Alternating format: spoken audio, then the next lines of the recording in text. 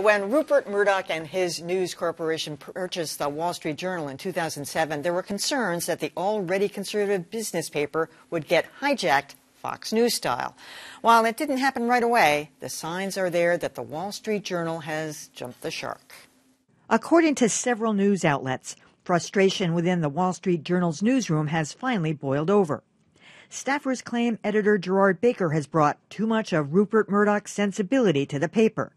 Some told NPR's David Folkenflik that it started with election coverage. Yet there was a sense that the paper was tempered in how it decided to cover candidate Trump, but then failing to really rigorously scrutinize him, particularly in the way that a business publication should.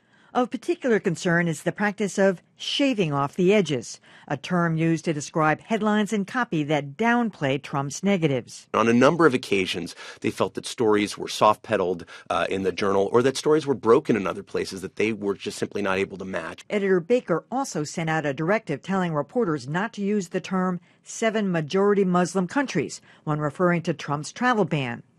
And in a meeting this week, several reporters expressed concern with Baker's close ties to Murdoch. Obviously, Rupert Murdoch also talks to Donald Trump a fair amount.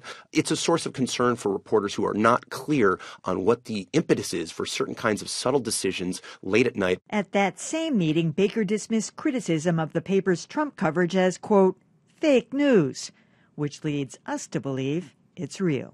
Hmm. So I used to work at the Wall Street Journal, and this just struck me that uh, Gerard Baker is not really denying this. In fact, he's saying if you want to work for a publication that wants to be more aggressive towards the Trump administration, go. Have at it. Specifically cited in the, uh, the Washington Post and the New York Times, but that's not the way our paper's going to handle it. Well, I'm going to be fairly mixed on this because I've talked to a number of journalists, reporters, and editors who are still there. I was there uh, until 1995, but I still have friends who are there. And it, to me, that's a, a, very strong recommendation for the paper is that so many people have stayed while a number have left. But um, uh, the, the, the journalists I talked to who were at that meeting didn't take away from it that idea of like it or leave it. Mm. Uh, while he made that point that at some, at, at, you know, at some point in this discussion, you may not want to be here. Uh, I think he, he, uh, he made a number of the editors feel fairly comfortable that they can continue to do the kind of stories they've been doing. And, and basically, I, I do have to say, especially during the election, there was some terrific coverage of Trump. His mob connections came out there. The way he, uh, the way he handled his lawsuits came out there. Um, it really is, you know, and, and some of those sexual harassment yeah. suits. They were the first ones to report it.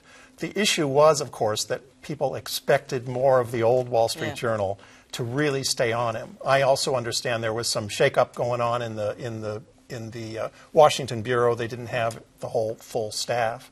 So I, I think we have to look at that other side too. That there are still people at the Wall Street Journal who believe, on the news side, that they're going to have the ability to cover Trump mm. tough.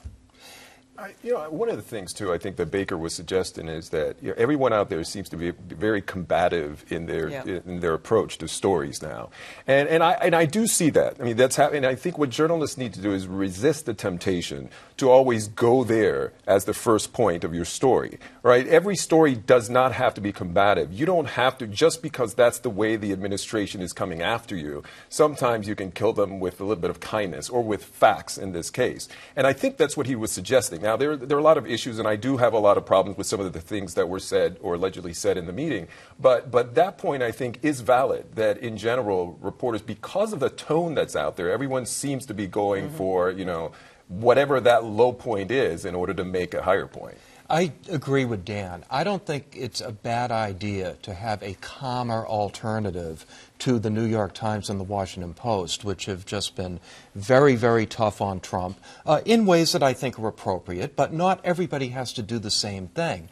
Uh, as long as their coverage is, is, is uh, true and thorough and they don't have their thumbs on the scale, I don't mind that they are toning it down a little bit. Uh, one thing I should point out is that Gerard Baker has taken some heat for saying that we are not going to say that right. President Trump is lying. Right. Well, guess what? Marty Baron, the editor of the Washington Post this week, said the same thing. And nobody has been tougher on Trump than the Washington Post. Uh, I was disheartened to see Baker uh, call the criticism fake news. me now, there's been some suggestions that he was joking. Yeah. I would like to see him explain Yeah, that exactly. a little further.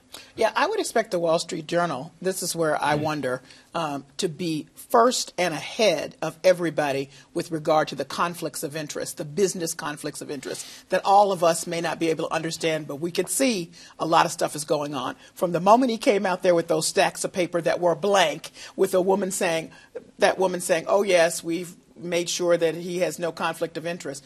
This is the meat of the Wall Street Journal, understanding how those financial deals work. I would expect them to be first and ahead.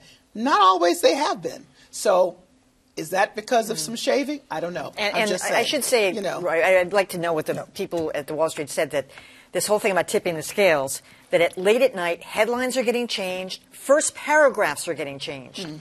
That's that's where I didn't make up that phrase, shaving the edges, so that once you get past the headline and the and the first graph, things get a little tougher, but they soften it going in. That was David Leonhardt who said that yeah, people would, the reporters David. would make In the changes in the New York Times. New York Times would make changes at Yeah, the end. yeah. I do have to mention though specifically to this point that the Journal had a great conflict of interest story today by that, Alexandra yeah. Barz- Berzon on Vornado and the close relationship that. Uh, uh, that, that Trump has with them, um, and uh, and you know they do continue to do those kinds of stories. They have a very strong investigative unit who thinks that people on that unit do believe that they have the right and the ability to do this.